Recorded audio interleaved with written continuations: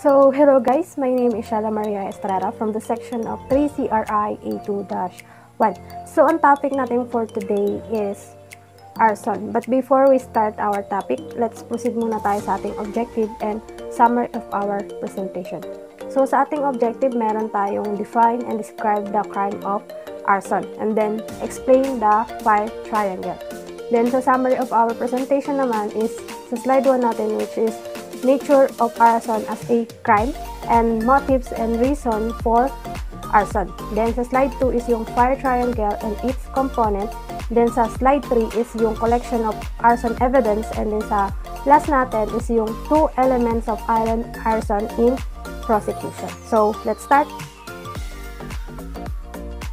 So, simulan natin sa arson. So, ano nga ba yung ibig sabihin ng arson? So, yung arson is typically defined as the malicious burning of a property na kung saan in general definition ng arson is yung isang tao is intention niyang sunugin yung isang property in order to destroy it with criminal intent. Hindi kasi yung pagsusunog ng tuyong dahon sa bakuran is hindi siya matatawag as arson at hindi rin siya mag-charge as arson dahil unang-una is sa kanyang property yon. And then pangalawa is wala siyang criminal intent or walang criminal intent na nangyari. Then, alam naman natin na ang criminal intent is napaka-lawak nan. Kasama na nga dyan yung pag-gain of profit, yung fraud, yung prosecution, or yung causing of injury. Then, yung crime ng arson is very serious offense, lalong-lalo na kapag mayroong namatay na tao dun sa na sunog na lugar na yon. Then, yung magiging punishment kasi nun is several years of imprisonment. So, yan yung arson. So, punta naman tayo dun sa different motives and reason. So, meron meron tayong iba't ibang motives or reason kung bakit nakukumit yung arson. So, simulan natin sa profit. So, yung profit, meron tong dalawang gain which is yung direct gain and then indirect gain. So, dun sa direct gain, for example na lang dyan, is yung isang tao is babayaran mo or yung isang tao is gust para gustong magkapera is gagawin is or ito uuto sa kanya is sunugin yung isang property. So, para sa pera, gagawa siya ng crime ng arson para nga magkaroon ng money. Then, sa indirect gain naman is, for example na lang dyan is sa business. Kung may kalaban ka sa business, so, isa sa magiging motivation mo kung bakit magagawa mo yung crime na arson is dahil sa mas mabenta kasi yung product niya kesa sa'yo. So, ang gagawin mo, isusunugin mo yung property niya para lahat ng mga customer or yung mga profit na nakukuha nung kalaban mo is mapupunta sa'yo. So, yan yung isa sa mga nagiging motivation kung bakit nakukumit yung arson, which is yung profit. The next one is yung spite or yung tinatawag na revenge. So, dito kapag ang isang tao ay nabully or something na pinahiya is syempre magkakaroon niya ng motivation na gumanti.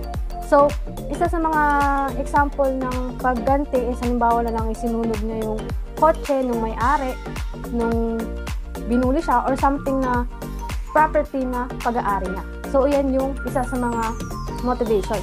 Then, isa na rin sa motives is yung excitement. So, ito yung tao na delikado dahil yung tao na to ay bored and gusto niya ng attention na katulad nga niya. Meron kasing tao na gusto niya nakakakita siya ng nasusunog na bahay. So, parang napaka-dangerous na tao niyan dahil wala siyang reason kung bakit sinusunog niya yung bahay na yon.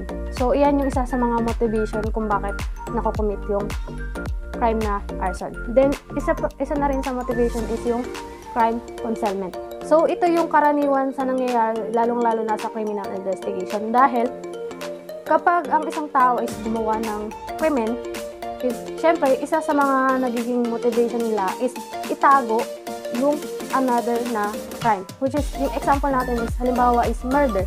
Siyempre, may, may, may maiiwan doon na katawan.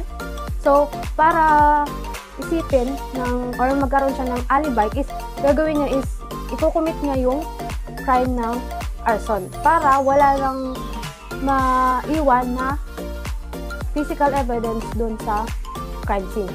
So, yan yung isa sa motivation, motivation din. The next one is yung vandalism. So, yung nagpe-perform itong vandalism na to is isa na dyan yung mga young or yung mga juvenile na wala silang reason kung bakit nila ginagawa yun. Kasi lalong-lalo na sa school or educational is yung arson is nakukumit nila lalong-lalo na dun sa vandalism. So, iyan lang yung limang uri or iba't ibang motives or reason kung bakit nakukumit yung arson. So, next is fire triangle and its component. So, bago natin malaman o bago nyo malaman yung ibig sabihin ng fire triangle, so dapat alam natin yung tatlong elements kung bakit nagkakaroon ng fire, which is yung yung element na yon is unang-una is yung heat, oxygen, and fuel.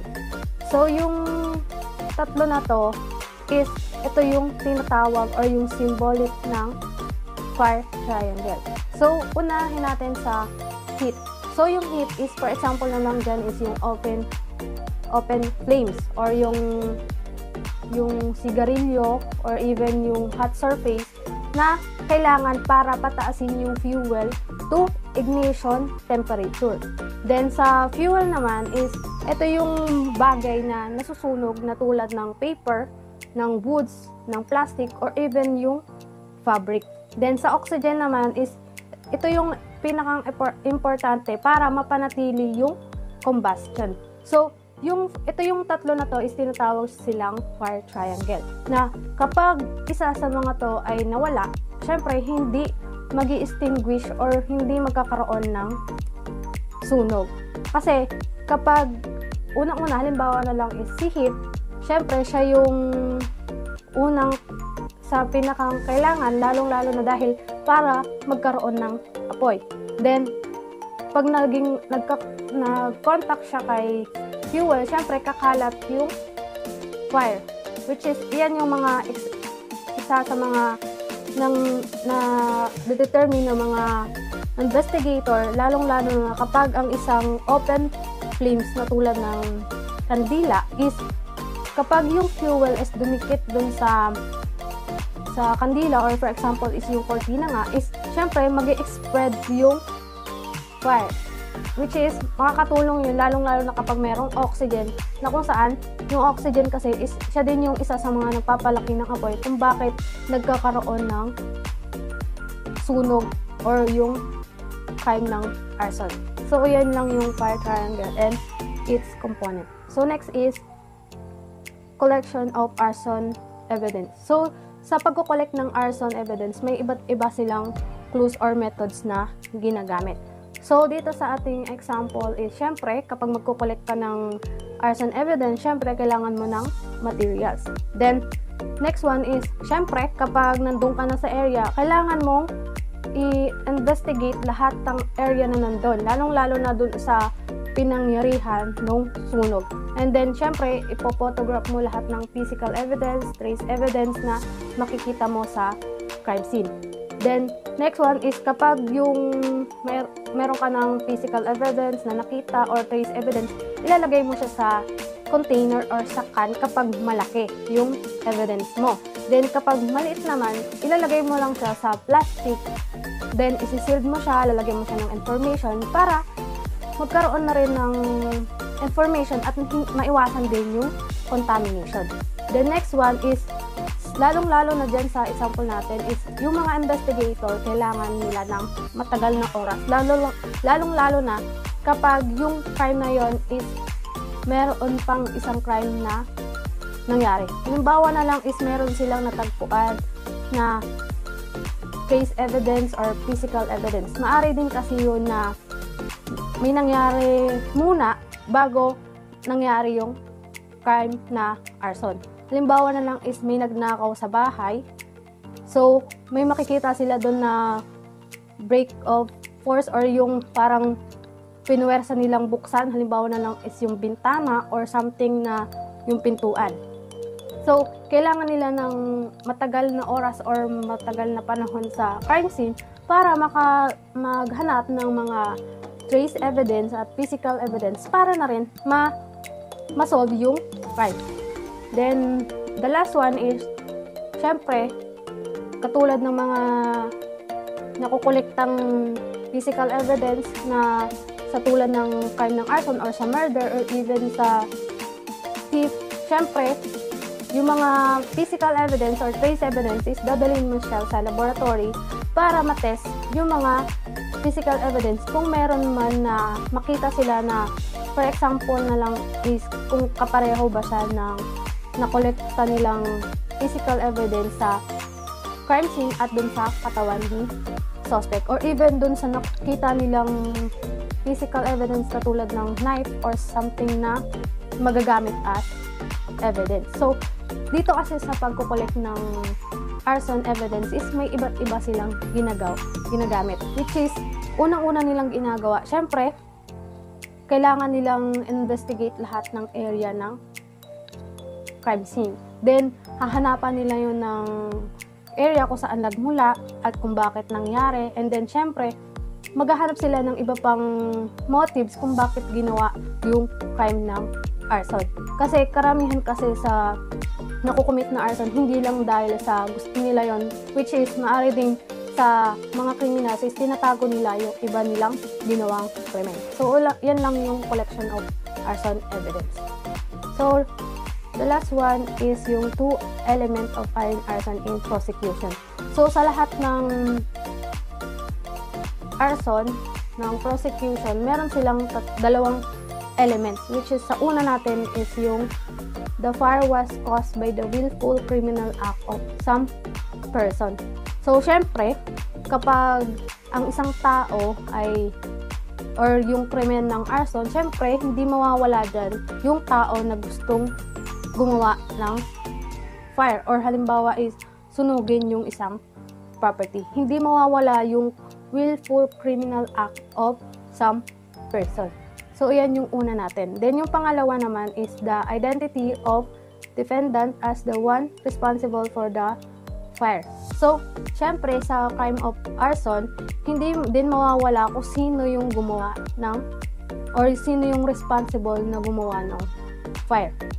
So, kung meron tao na gustong sunugin yung bahay, pero syempre, hindi rin mawawala yung pag-identify ng ng tao na yun kung sino gumawa ng krimen na yun.